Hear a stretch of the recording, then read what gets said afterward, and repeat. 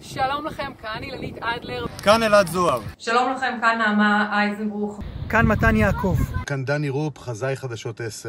שרון וקסלר כאן. שלום לכם, כאן טל שמאי מערוץ 10. כמו שאתם יודעים, ל"ג בעומר זה חג שהסביבה לא כל כך אוהבת, והשנה היא גם מראה את זה.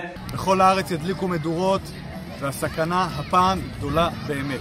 מזג אוויר חם, יבש, ועם רוחות מאוד חזקות ברקע. השילוב הזה של טמפרטורות גבוהות ויובש הוא לא מוצלח למדורות, מהר מאוד האש מתלקחת. וזה מה שימשיך ללוות אותנו בכל רצף אה, הימים אה, הקרובים. וגם ביום שישי שיהיה שרב כבד.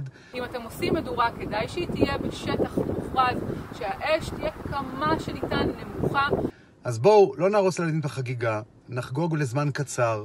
אם אתם עושים מדורה כחלק מבית הספר, תעשו מדורה שכבתית של בית הספר, לא הרבה מדורות קטנות, כי אז זה הרבה יותר מסוכן. והכי חשוב, אל תיתנו למדורה להישאר דולקת או מעשנת כשאתם עוזבים אותה.